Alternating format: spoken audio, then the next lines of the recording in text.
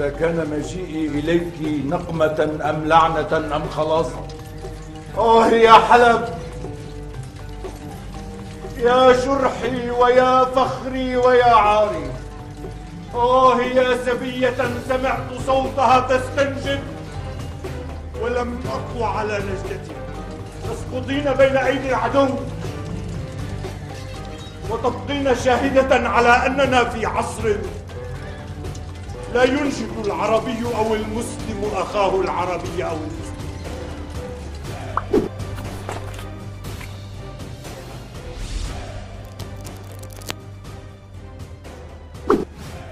اشتد المرض على سيف الدولة في أواخر أيامه. حتى انتهى إلى غاية الضعف. لكنه رغم ذلك استمر يرسل العساكر لحرب الروم ودفعهم بعيدا عن حدود إمارته وعن حدود الدولة العباسية عموما. وفي عام 356 الموافق 967 ميلاديا توفي سيف الدولة في حلب ونقل جثمانه بعد الصلاة عليه إلى ميافارقين حيث دفن هناك إلى جانب والدته وشقيقته. وقيل أن طوبة وضعت تحت رأسه في قبره. صبت من بقايا درعه الذي تكسر لكثرة ما تلقاه من ضربات في معاركه. معاركه المتكررة خلال حياته مع الروم. ويقال أن سبب مرضه وموته هو الفالج الذي أصابه عندما عاد ورأى حلب. كيف أصبحت بعد أن دخلها الروم وقتلوا أهلها؟ وهدموا دورها وعاثوا في فيها فسادا أياما.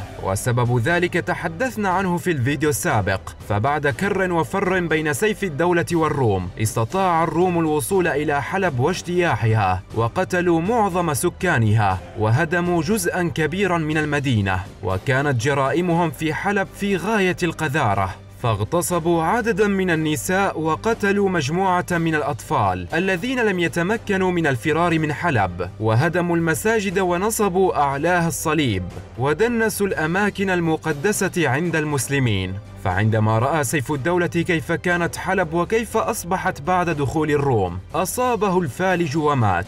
شكلت وفاة سيف الدولة خسارة جسيمة ألمت بالمسلمين عامة والعرب خاصة لأنه كان قائدا شجاعا محنكا. قضى حياته مجاهدا ومدافعا عن الحدود الإسلامية ضد البيزنطيين واستطاع بفضل مهارته العسكرية أن يتصدى لأعدائه في الداخل والخارج. ولم يكن ابنه وخليفته قدرته على المستوى نفسه من الإقدام والشجاعة والتدبير ما أدى إلى ضعف الإمارة الحمدانية وتراجع قوتها فطمع فيها عمالها الذين تنازعوا فيما بينهم وخرجوا على أسيادهم وطمع الروم كذلك فيها الذين استغلوا تفكك وحدتها للاستيلاء على المزيد من الأراضي الإسلامية وطمع الفاطميون كذلك الفاطميون الطامعون في ضم الشام ونشر نفوذهم ومذهبهم الشيعي الإسماعيلي الإسماعيلي في ربوعها. وبعد وفاة سيف الدولة خلفه ابنه أبو المعالي سعد الدولة. وهو الابن الوحيد الباقي على قيد الحياة من أولاده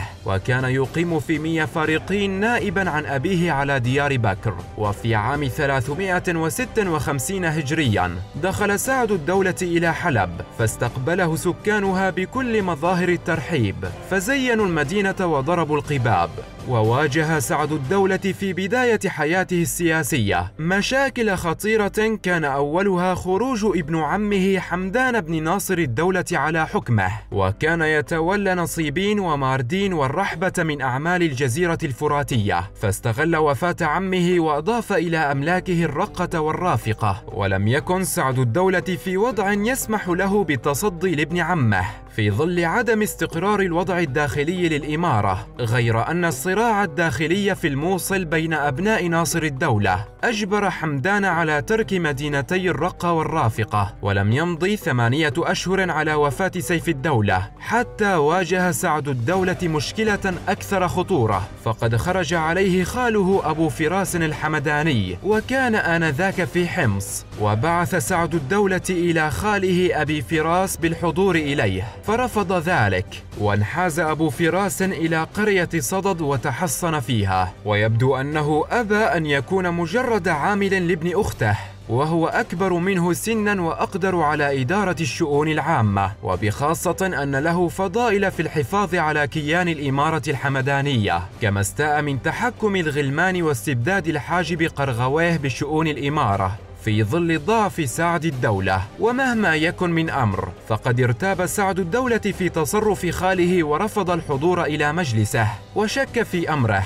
فقرر التخلص من أبي فراس والواقع أنه دفع للقيام بذلك من قبل قرغويه الحاجب الذي خشي من طموح أبي فراس الذي يشكل خطرا على نفوذه ولعله أوهمه بأن خاله يطمع في حكم الإمارة وخرج سعد الدولة من حلب متوجها إلى سلمية التي اتخذها قاعدة انطلاق لحرب خاله فجمع حوله الأعراب ثم أرسل الجيش بقيادة قرغويه إلى صدد أرسلهم منهم للاصطدام بخاله أبي فراس. وبعد مناوشات لم تستمر طويلا هال أنصار أبي فراس ضخامة جيش قرغواه فاستأمن معظمهم وانحازوا إليه.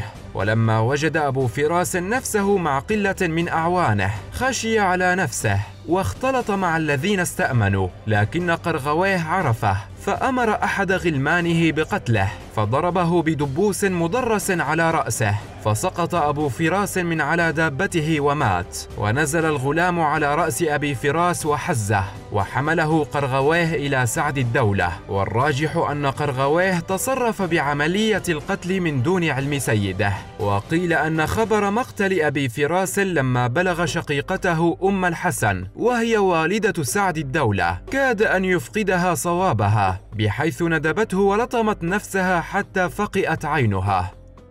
كان قرغواه الحاجب يخطط للاستقلال عن الإمارة الحمدانية منذ وفاة سيف الدولة وطمع بخلع طاعة الأسرة الحمدانية وطردها من حلب والاستقلال بهذه المدينة فاستغل ضعف سيده الذي فقد ثقة شعبه واحترامه بفعل عدم جديته في الجهاد والتصدي للبيزنطيين الذين كانوا يهاجمون الأراضي الإسلامية واستقطب الحلبيين بعد أن أوقفهم على ما تتعرض له مدينتهم من الخطر البيزنطي وبما قام به من إصلاحات في القلعة وتحصينها وعمارة أسوار البلدة. ثم انتهز قرغويه خروج سعد الدولة إلى بالس لصد البيزنطيين. فاغتصب قرغويه السلطة وكتب إلى سعد الدولة يقول أمضي إلى والدتك فإن أهل حلب لا يريدونك ولا يتركونك تعود إليهم. وتعاون قرغويه مع غلام آخر يدعى بجكور على تنفيذ هذه المؤامرة.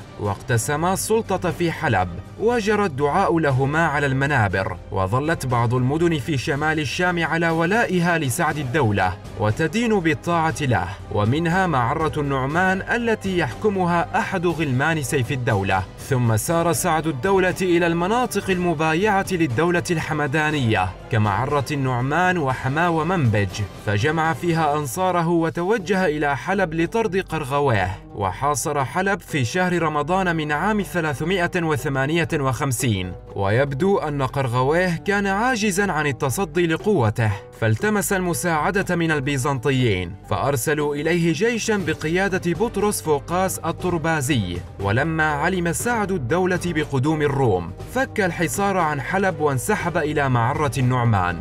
وهاجم البيزنطيون أنطاكية مستغلين تفتيت وحدة الإمارة الحمدانية بفعل النزاع الأسري وضياع هيبة الدولة. وما لبث الشقاق أن وقع بين قرغويه وبشجور بسبب الاستئثار بالسلطة فقبض الثاني على الأول وأودعه في السجن في قلعة حلب في ظل انصراف الإمبراطورية البيزنطية عن تأييد قرغويه. نظرا لما ساد من الفتن الداخلية في بيزنطة بعد وفاة الإمبراطور يوحنا. وفي هذه الأثناء عندما كان قرغويه يتحارب مع منافسه في الدولة الحمدانية استدعى أنصار قرغويه سعد الدولة إلى حلب وطلبوا منه القدوم وتخليصهم من قرغويه وكان سعد الدولة آنذاك في حمص يراقب تطور الأحداث فسار إليهم سعد الدولة مع أنصاره وضرب الحصار على حلب طيلة أربعة أشهر ثم دخلها بمساعدة أهلها الذين ملوا الفتن والاضطرابات كما أنهم استاءوا من تعاون بجكور مع الروم واستسلم بجكور لسعد الدولة مقابل الأمان له ولأهله فمنحه سعد الدولة ما طلبه واستقر هو بحلب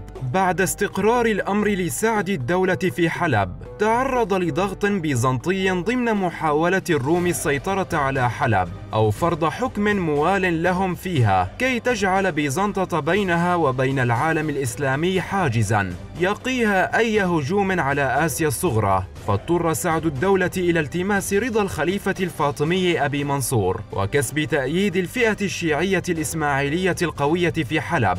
كل ذلك في سبيل حماية إمارته. فاعترف بسيادة الفاطميين وخطب لهم على المنابر وأضاف إلى الأذان هذه العبارة حي على خير العمل محمد وعلي خير البشر والحقيقة أن سياسة الفاطميين في الشام انطلقت من عاملين عامل عقائدي وسياسي. فقد استهدفت الدولة الفاطمية السيطرة على العالم الإسلامي وإسقاط الخلافة العباسية وشكلت حلب طريقا طبيعيا إلى العراق وكانت السياسة الفاطمية استمرارا للسياسة الخارجية لأي حاكم اتخذ من مصر مقرا له منذ أقدم العصور. فيجب على من يحكم مصر أن يحكم الشام معها لحماية دولته. فلم تدخل القوة الفاطمية حلب في ذلك الوقت بسبب المشكلات الداخلية في الدولة الفاطمية ونمو القوة الإمبراطورية البيزنطية وكراهية سكان الشام للفاطميين لأسباب مذهبية ودينية واقتصادية وإدارية.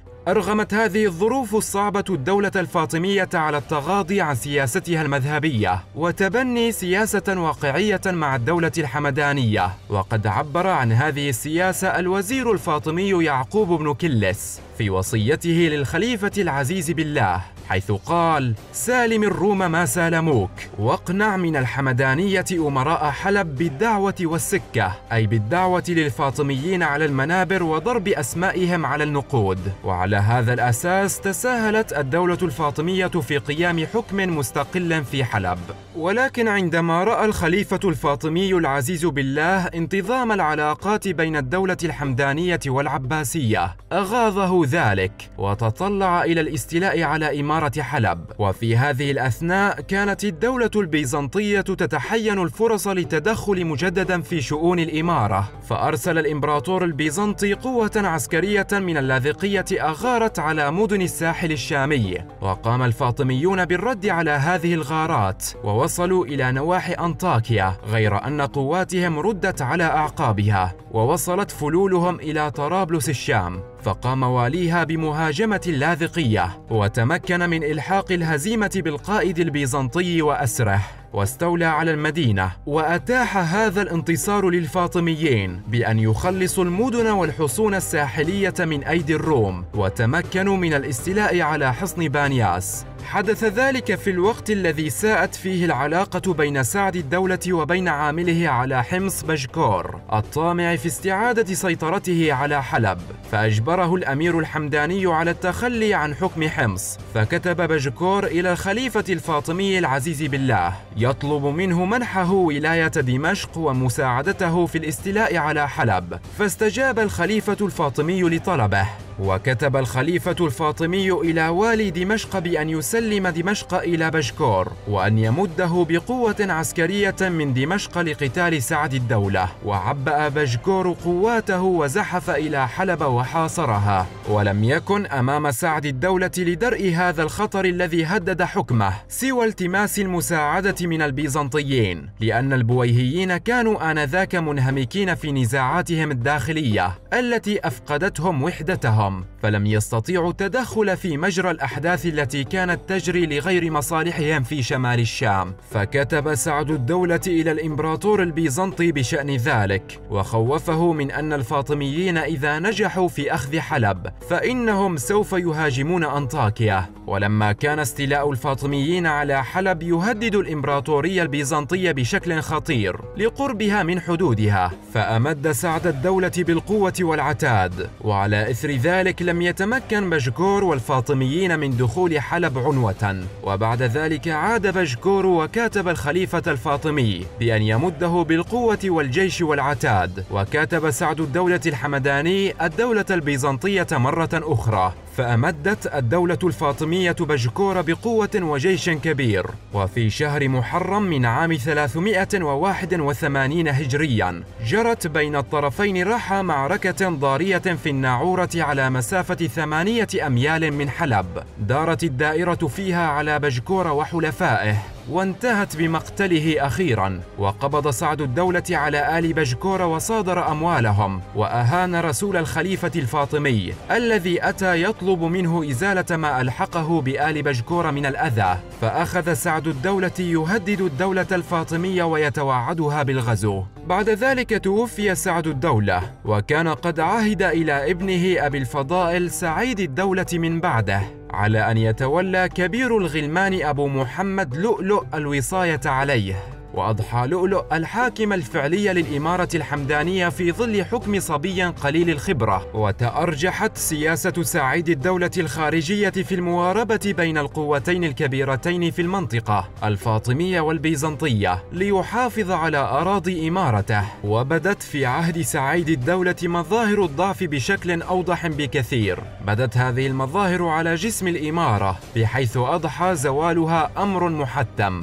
وتوفي سعيد الدولة الدولة وزوجته مسمومين إما على يد إحدى جواريهما أو بإيعاز من لؤلؤ الغلام الكبير. وكانت وفاة سعيد الدولة بمثابة النهاية الفعلية لحكم الأسرة الحمدانية بحلب بفعل أن لؤلؤ أضحى حاكم الدولة يحكم باسم ولدي سعيد الدولة الصغيرين من دون أن يكون لأي منهما أثر في السلطة. ولما توفي لؤلؤ استبد ابنه منصور بالحكم وكان قصير النظر في السياسة كما كان مغرورا وسكيرا وظالما فأبغضه الحلبيون. ولم يلبث أن قامت أمامه فتنة انطلاقا من قلعة حلب ذاتها أشعلها قائد القلعة. فهرب مع أولاده وإخوته وبعض غلمانه إلى أنطاكيا فاستغل الفاطميون ذلك فأخذوا حلب وعينوا عليها واليا منهم وبذلك أصبحت المدينة جزءا من الدولة الفاطمية وانقرضت الإمارة الحمدانية بعد أن عمرت زهاء سبعين عاما.